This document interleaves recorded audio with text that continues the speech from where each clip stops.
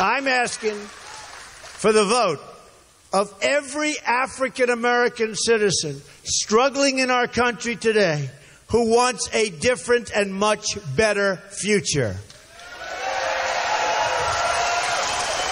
It's time for our society to address some honest and very, very difficult truths. The Democratic Party has failed and betrayed the African American community. Democratic crime policies, education policies, and economic policies have produced only more crime, more broken homes, and more poverty. The Democratic Party has taken the votes of African Americans for granted. They've just assumed they'll get your support and done nothing in return for it. They've taken advantage of the African American citizen. It's time to give the Democrats some competition for these votes, and it's time to rebuild the inner cities of America and to reject the failed leadership of a rigged political system. And that's what it is it's a rigged system. Let us look at the situation right here in Milwaukee, a city run by Democrats for decade after decade.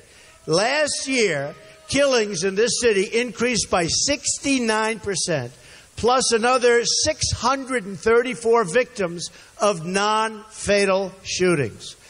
18 to 29 year olds accounted for nearly half of the homicide victims. The poverty rate here is nearly double the national average.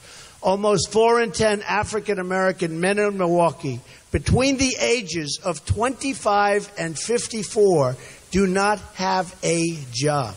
Nearly four in ten single mother households are living in poverty. 55 public schools in the city have been rated as failing to meet expectations despite $10,000 in funding per pupil, which is a very, very high number. There's only a 60% graduation rate, and it's one of the worst public school systems anywhere in the country.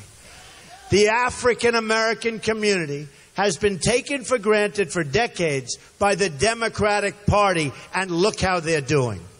It's time to break with the failures of the past. I want to offer Americans a new and much better future.